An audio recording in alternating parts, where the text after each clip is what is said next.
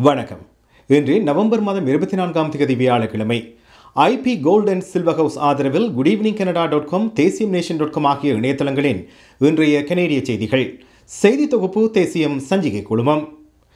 ஒட்டோவாவில் நிகழ்ந்த முற்றுகை போராட்டம் ஜனநாயகத்தின் மீதான தாக்குதல் என துணை பிரதமரும் நிதியமைச்சருமான கிறிஸ்டியா ஃப்ரீலாண்ட் தெரிவித்துள்ளார்.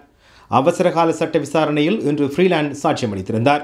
போராட்டங்களை முடிவுக்கு கொண்டுவர பொது ஒழுங்கு அவசர நிலையை அறிவிக்கும் லிபரல் அரசாங்கத்தின் முடிவை துணை பிரதமர் நியாயப்படுத்தியுள்ளார். முற்றுகை போராட்டம் குறித்த அமெரிக்காவின் கவலை கனடாவுக்கு ஆபத்தான தருணம் என ஃப்ரீலாண்ட் விவரித்துள்ளார் ஒரு பொருளாதார அச்சுறுத்தல் ஒரு தேசிய அச்சுறுத்தலாகும் என்று தனது சாட்சியத்தில் ஃப்ரீலான் குறிப்பிட்டிருக்கின்றார். ஒரு நாடு என்ற வகையில் தமது பாதுகாப்பு எமது பொருளாதார பாதுகாப்பின் அடிப்படையில் கட்டமைக்கப்பட்டுள்ளது என நம்புவதாக நிதியமைச்சர் ஃப்ரீலான் கூறியுள்ளார். வாகனத்துறையில் இந்த போராட்டத்தின் எல்லை முற்றுகைகள் ஏற்படுத்திய கடுமையான தாக்கம் குறித்து அமெரிக்க உயர் அதிகாரிகளுடன் தான் நடத்திய உரையாடல்களை ஃப்ரீலாண்ட் தனது சாட்சியத்தில் விவரித்தார். நிதியமைச்சராக வங்கிகளுடன் அவர் நடத்திய ஒரு முக்கிய தொலைபேசி அழைப்பை குறித்தும் ஃப்ரீலாண்ட் நினைவு கூர்ந்தார்.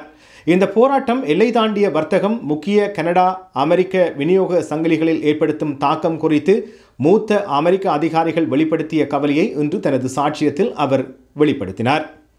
அம்பாசடர் பாலத்தின் முற்றுகை குறித்து அமெரிக்க ஜனாதிபதியின் உயர்மட்ட பொருளாதார கொள்கை ஆலோசகர் மிகவும் கவலையுடன் இருந்ததையும் ஃப்ரீலாண்ட் நினைவு கூர்ந்தார். அவசரகால சட்ட விசாரணையின் இறுதி நாளான நாளை பிரதமர் ஜஸ்டின் ட்ரூடோ சாட்சியம் அளிப்பார் என்று எதிர்பார்க்கப்படுகிறது. இந்த வருடத்தின் ஆரம்பத்தில் நடைபெற்ற முற்றுகை போராட்டத்தின் முதலாவது ஆண்டை குறிக்கும் வகையில் மற்றொரு முற்றுகை போராட்டம் திட்டமிடப்படுகிறது. முற்றுகை போராட்டத்தின் அமைப்பாளர் ஒருவர் எதிர்வரும் பிப்ரவரி மாதத்தில் ஒட்டோவாவில் மீண்டும் இணைவதற்கு திட்டமிட்டுள்ளதாக கூறுகின்றார். அனைத்து தடுப்பூசி கட்டுப்பாடுகளையும் முடிக்க கோரிய கனடா யூனிட்டி குழுவின் நிறுவனர் ஜேம்ஸ் பாரர் இந்த போராட்டம் குறித்த அறிவித்தலை விடுத்துள்ளார்.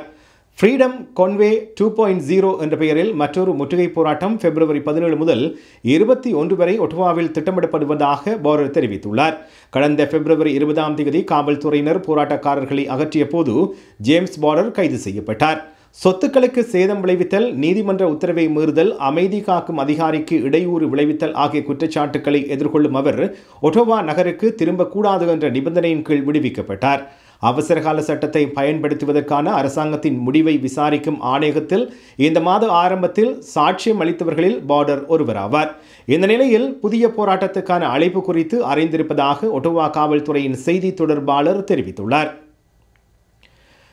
ஒன்டாரியோ மாகாணத்தில் கோவிட் தொற்றுடன் மருத்துவமனையில் அனுமதிக்கப்பட்டவர்களின் எண்ணிக்கை ஆயிரத்தி நூற்றி அறுபத்தி ஆறாக குறைந்திருக்கிறது.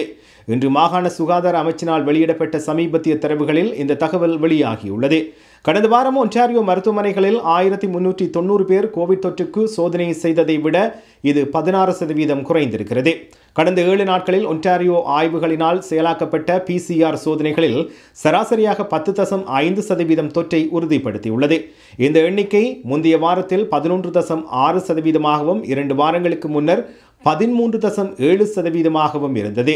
ஒன்டாரியோவில் பெரும்பாலான பொது சுகாதார குறிகாட்டிகள் கோவிட் தொற்றின் செயல்பாடு குறைவதை தொடர்ந்து சுட்டிக்காட்டுகின்றன. ஆனாலும் குழந்தைகள் மருத்துவமனைகள் காய்ச்சல் ஆர்எஸ்வி போன்ற பிற சுவாச நோய் தொற்றுக்களை கொண்ட நோயாளிகளின் வருகையை எதிர்கொள்ள போராடுகின்றன. சிறார் பாலியல் குற்றங்களுக்காக தண்டிக்கப்பட்ட நான்கு ஆண்களின் மேல்முறையீட்டு மனுக்களை கனடாவின் உச்சநீதிமன்றம் இன்று நிராகரித்துள்ளது. குழந்தை பாலியல் கடத்தல் தொடர்பான பல ஆண்டு விசாரணையின் ஒரு பகுதியாக இரண்டாயிரத்தி பதினேழாம் ஆண்டில் யோக் பிராந்திய காவல்துறையால் நூற்றுக்கும் மேற்பட்டவர்கள் கைது செய்யப்பட்டனர். இவர்களில் நால்வர் முன்வைத்த மேல்முறையீட்டு மனுக்களை கனடாவின் உச்சநீதிமன்றம் நிராகரித்துள்ளது.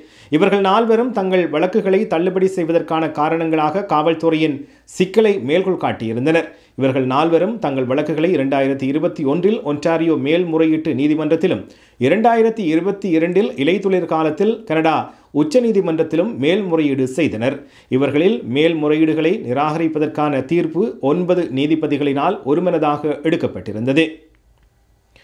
சமூகத்துடன் நெருக்கமான உறவுகளை பேண விரும்புவதாக மொன்ட்ரியல் காவல்துறையின் அடுத்த தலைவர் தெரிவித்திருக்கின்றார். மொன்ட்ரியல் நகரம் தனது அடுத்த காவல்துறை தலைவராக நீண்டகால காவல்துறை அதிகாரியான ஃபேடி டாரை பரிந்துரைக்கின்றது.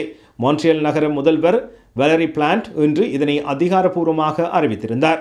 சமூகத்துடன் நெருக்கமாக இருக்க ஒரு வழியை நாங்கள் கண்டுபிடிக்க வேண்டுமென்று டார் என்று மான்ட்ரியல் பொது பாதுகாப்பு குழுவிடம் கூறியிருக்கின்றார்.